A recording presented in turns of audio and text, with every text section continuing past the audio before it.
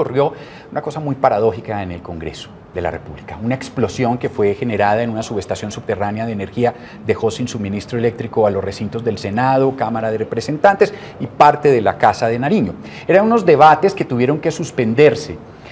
¿Cuál fue la causa de este apagón? ¿Qué pasó en el Congreso? Preguntémosle a Juan Pablo López. Era, además, eh, tengo entendido, un debate que se tenía programado para las 10 de la mañana de moción de censura al ministro de Hacienda por precisamente la venta de Isagen. Juan Pablo, muy buenas tardes.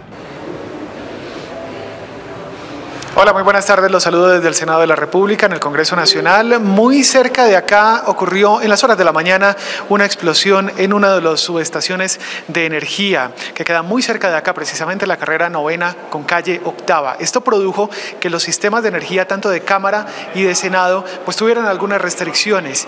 Y esto además hizo que se aplazaran algunos debates de control político que se tenían programados en la Cámara y en el Senado, en algunas de las comisiones y además en la plenaria, el de las 11 de la mañana, el más importante que era la moción de censura en contra del ministro de Hacienda, eh, Mauricio Cárdenas.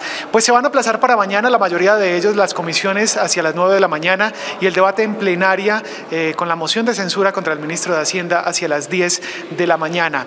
Codensa será el encargado de reparar, eh, si así lo están estudiando en este momento, pues la subestación de energía para tratar de dar nuevamente el suministro al Congreso de la República, a la Cámara y al Senado. Pues estaremos muy pendientes de esta situación desde el Congreso de la República en el centro de Bogotá, Juan Pablo López, Canal Capital.